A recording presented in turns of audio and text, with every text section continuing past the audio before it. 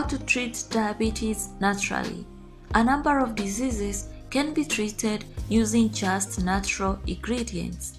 The compounds in the guava leaves helps to regulate the blood sugar levels after meals by inhibiting the absorption of sucrose and maltose sugars. A recent research study has found that guava leaves have the capacity to treat people with diabetes. Consuming guava leaves or guava leaf extract along with every meal is known to help reduce the level of blood sugar, which can be increased after the consumption of food. To prepare this remedy, you need to have 10 fresh guava leaves. Or you can choose to chew as they are.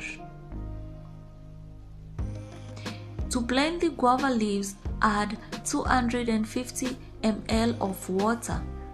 In the blender, add your guava leaves and then smoothly blend. Once you're done blending, make sure to sieve and then you can consume this remedy after every meal.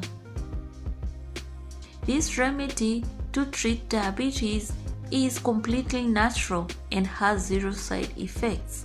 However, it is very important to consult with your doctor before you start this remedy.